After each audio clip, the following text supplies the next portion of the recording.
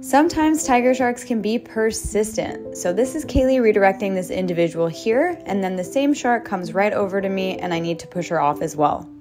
After following through with her, the shark actually turns back and goes right towards Kaylee again. Kaylee is ready to redirect her, and here she goes, pushing her down again. And then here the shark does a bit of a loop, actually looking around her surroundings, kind of deciding where she wants to go and what she wants to check out next. She begins to get closer to me and it looks like she's going to swim by me, but last minute here she comes back over and wants to examine me one more time. And believe it or not, she still goes right back over to Kaylee again as well. This is why we always need to be alert when working with these sharks because you never know how many times they will want to check you out.